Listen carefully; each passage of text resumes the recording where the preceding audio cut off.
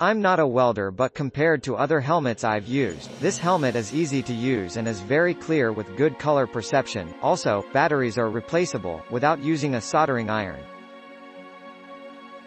This is the first professional grade hood that I have owned in my short time as a welder. After using it for the last month or so I have to say that I am deeply impressed with both the comfort and rays of use. I purchased this helmet at the same time as my first TIG welder and it has allowed to learn so much more quickly and with less frustration than any other hood I have used. The X mode offered on this hood is a great feature and one that I use daily. I have never been flashed wearing this helmet and when in X mode, it never darkens unless there is an arc present. Struggled with the choice over this or the Lincoln 3350, I had welded with a 3350 and like it a lot, after reading and trying the Miller Digital Elite I decided to go with this. I have been very pleased with the build quality and functionality. I live in Canada and I was able to get the Miller Digital Elite from Amazon, com cheaper than I could the Lincoln 3352, that sealed it.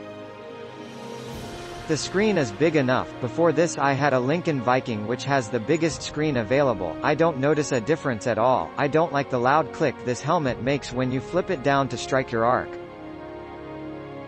However I may not have them installed correctly either law.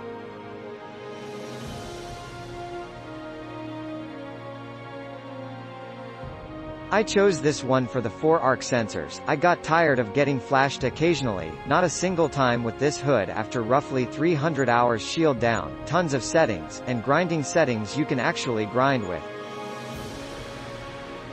I have never written a review before but thought this was worth the effort, I've always used cheap Harbor Freight hoods but decided to get this one.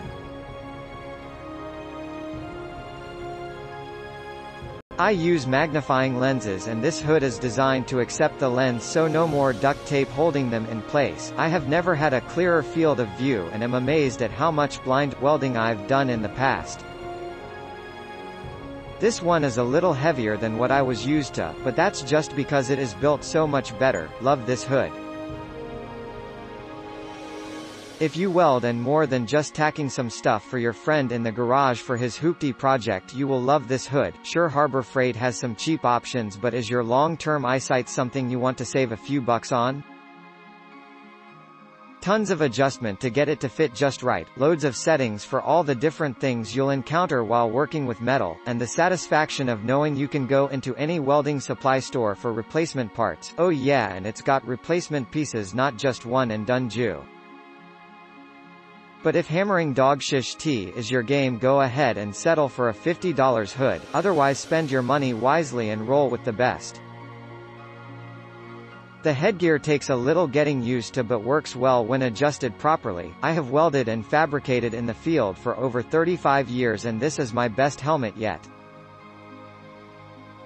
It works laying down, sideways, and upside down. I love the grind, torch modes. It gets old having to constantly switch helmets, grinding, torching gear.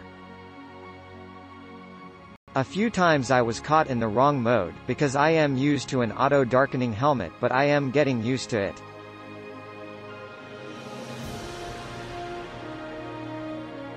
This is an outstanding Miller welding hood, I have used many different fixed lens welding hoods as well as one other auto darkening hood. Click link in description for more reviews, please click the link below for more information, please subscribe to my channel for more great products, please use my affiliate links to support my channel.